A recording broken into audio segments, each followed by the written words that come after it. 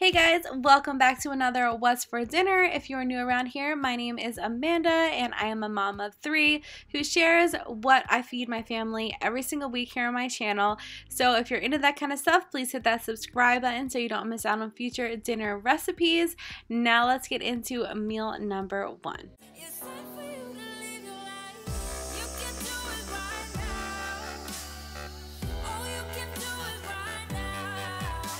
Alright, so first up, I'm making pizza, mac and cheese, and eggplant parm on the side. So to get started, I am browning up some pepperoni. I'm using the little mini pepperonis. I thought they would be cute. You don't have to cook your pepperoni first, but I wanted that pepperoni flavor and the grease from the pepperoni to add flavor to my cheese sauce. You can just throw the pepperonis right into your macaroni and cheese later.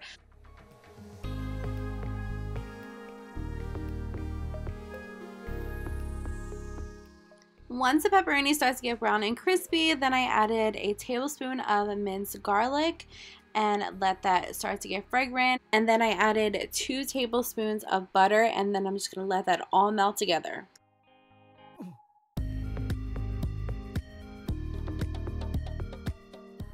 Then I'm going to slowly add 4 tablespoons of flour. You might need more or less depending on how much grease your pepperoni lets off.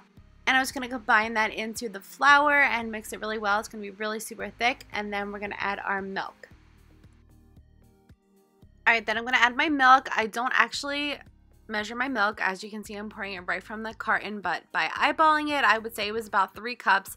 I just slowly pour it and mix it in with the flour and butter mixture, and it will be really thick. If it's too thick, you're going to want to add more milk.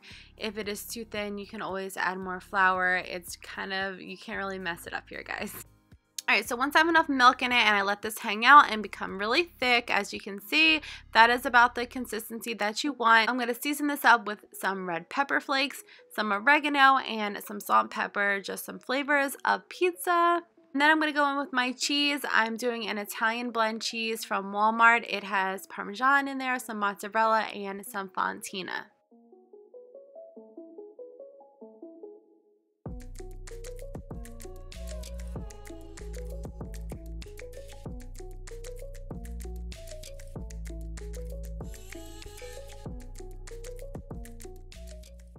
Alright, and I'm using uh, some corkscrew pasta, but you can use whatever kind that you like. And I'm just adding that to a baking dish because I am baking this. And then I'm just adding my cheese and pepperoni mixture right on top. And then we're going to go in with our pizza sauce. So I found this Ragu margarita pizza sauce at Walmart. I think it's new. I've never seen it before. I've never tried it before. But we really, really liked it. It had like an authentic, like fresh basil type of flavor. We really liked it. And I'm just adding a little bit into the cheese and macaroni mixture to mix in. You can add as much as or as little as you like depending on how saucy you want it. But I just wanted like a little bit less sauce than cheese just so you would have the flavor but it wasn't like overpowering.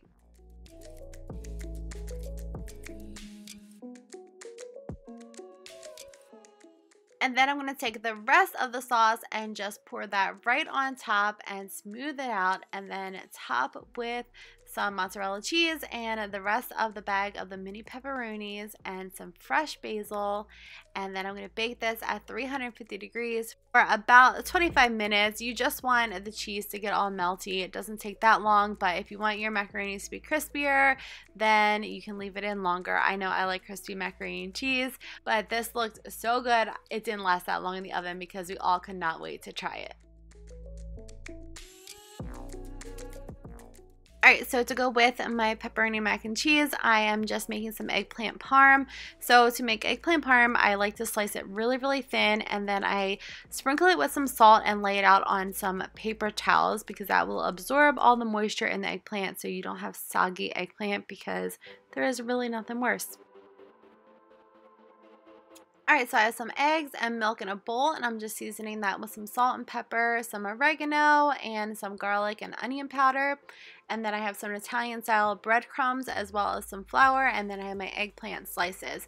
So what I'm going to do is dredge my eggplant in the flour first and then into the egg mixture and then into the breadcrumbs and then we're going to fry them in some oil. I guess you could just take the eggplant and bake it right away but I always fry it first. It makes it so crispy and just really delicious. My kids eat it and my husband eats it. Everybody eats it and it's just really really good. And once they're crispy on all sides, you can just remove them from the pan. I like to let them drain all the grease off on a paper towel right on the side, and then we will bake them in a baking dish. Alright, so the sauce I'm going to be using for the eggplant is this Prego Farmers Market protein white bean and roasted garlic. This was something new that I found as well, and we really, really liked it. And I'm just adding some of that right to the bottom of my baking dish.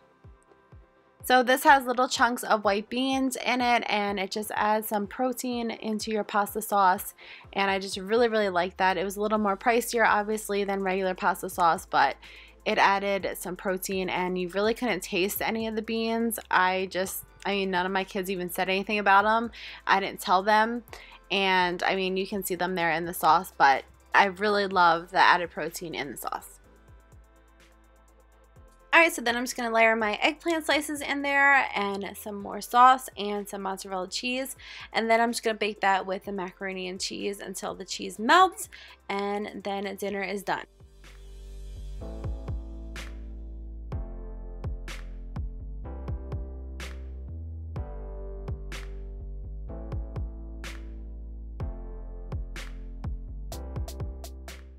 Remember guys, I write out all of my recipes in the FavorEats app. It saves all of your recipes all in one place from Pinterest, YouTube, your grandmom's recipes, your own recipes.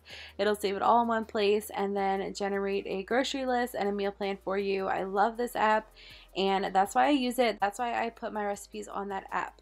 So definitely go check it out. I have a link down below. It is completely free and that's where you can get all my recipes from. You can copy and paste the recipe if you don't want to use the app for anything else than my recipes. So go check it out because I don't put my recipes in my description box. And you are so 100% gonna wanna try this mac and cheese because it was so, so good. And this is my plate. We love eggplant parm and this was a perfect complement to it. And also, if you're new, I do share a subscriber meal idea every week here on my What's for Dinner videos. And all you have to do to be featured is leave me a meal idea down below in the comments. It can be just a meal idea or a full recipe. And everyone that I featured gets entered to win a giveaway at the end of the month. And this month's giveaway winner will be announced in next week's What's for Dinner video. So make sure you guys stay tuned for that. And my first subscriber meal idea for this week is from Ella, and she suggested homemade stuffed shell pierogies. Alright, to get started, I'm just making my instant mashed potatoes and we're using the roasted garlic kind and I'm just adding those to a bowl and then I'm adding the boiling water that it requires and I'm just using the boiling water from the pot that I use to boil the shells in, just saving some water and it was already hot and boiled. So I'm just stirring that up and then I'm doctoring up these mashed potatoes by adding some sour cream because I love sour cream with my pierogies anyway and I'm also adding lots of black pepper and some mozzarella cheese as well.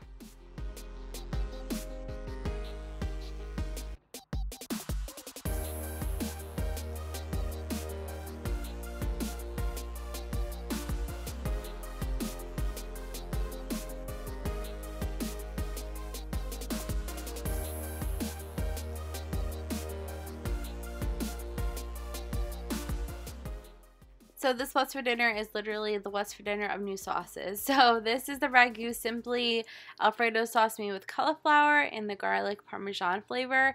This was really good too. It sinks in the cauliflower um, into your Alfredo sauce. You couldn't tell any different and you're getting some veggies into your kids. I really like this. I'll be buying it from now on. I'm just adding this to the bottom of my baking dish. And then I'm just taking my cooked jumbo shells and then stuffing it with the mashed potato mixture and then putting it right on top of the Alfredo sauce in the baking dish and doing this a hundred more times. Stuffing shells is so tedious.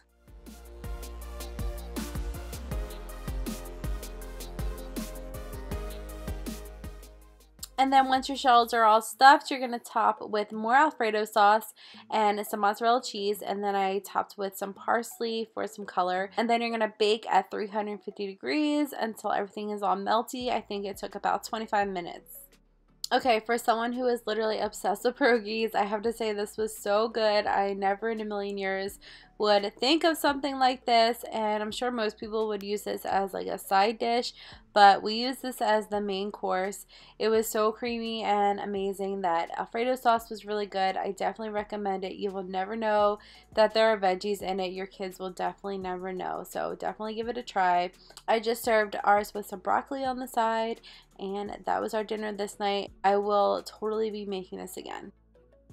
Alright, the next subscriber meal idea is from Harley and she suggested chicken and potatoes with green beans and when I saw the McCormick seasoning packets I knew I had to try it because you guys already know how obsessed I am with those. The only difference that I made was I didn't do it in the crock pot and I made ours on the grill because I just did not have my craft together this day and I forgot to put it in the crock pot but this still turned out really good. Flavors were all the same so you guys can either put it in the crock pot or make it on the grill like I did. Either way, this is really good. Alright, so to get started, I'm just adding my seasoning packets to a bowl. I love that she uses two different seasoning packets to switch things up. I think that is so awesome. So we're using the tomato, garlic, and basil, and then the mojito lime. I've used the tomato one before, but never the mojito lime, so that was fun to try. And all the directions are right on the back of the packet, so I'm just following those and adding the oil, the water, and the vinegar, and then whisking it all together.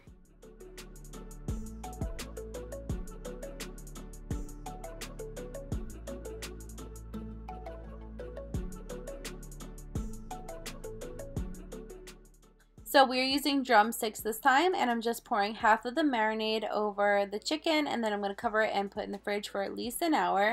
And then I'm using the little potato company uh, red and yellow potatoes and then I'm just going to chop these in half so that they cook faster and add these as well as some fresh green beans to the rest of the marinade and let them hang out for about an hour as well. And we just grilled everything out all at once. We uh, do like our chicken a little bit crispier, so the potatoes and the green, green beans were done a little bit before so we just set them to the side and kept them warm until the chicken was to our desired crispiness. Um, I really loved the combination of the two seasoning packets. That was such a good idea. I really love this. This is probably my favorite meal of the entire week. My kids love the chicken and devoured it. They just love drumsticks. So I definitely recommend the two seasoning packets. Give them a try. I love all McCormick seasoning packets Alright, and the last subscriber meal idea is from Nikki, and she suggested roast in the slow cooker with carrots and potatoes.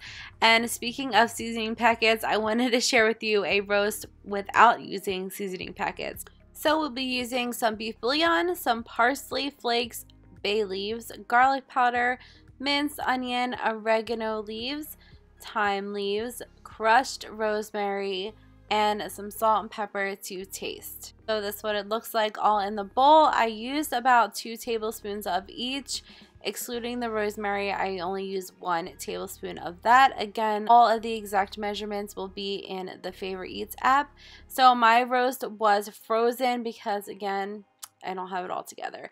So I would recommend searing your roast before putting it in the crock pot but because mine was frozen I couldn't do that. So I'm just adding that right to the crock pot and then pouring my seasonings right on top of it.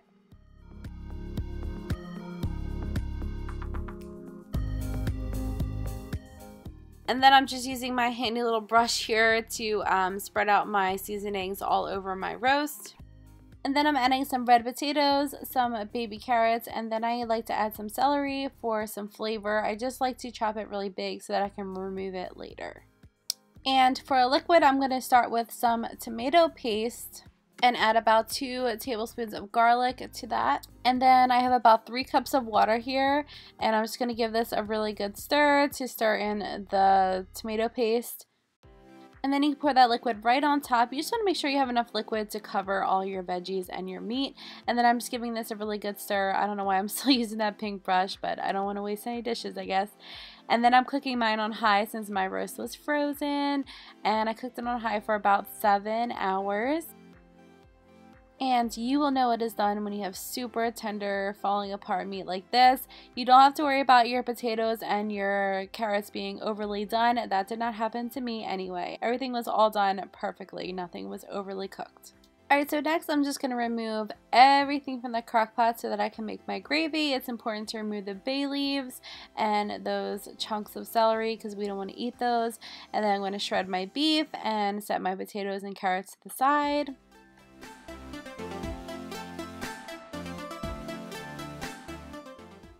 So to make my gravy, I'm just going to take some of the hot broth from the crock pot and add it to about 4 tablespoons of the flour that I have in a little cup here. I'm just going to stir this really well. The hot broth is going to make the flour not clumpy or anything. And then I'll just add that right back into the crock pot. Alright, and here's my plate. I just served it with some bread and butter on the side, and I'm just spooning some gravy all over everything.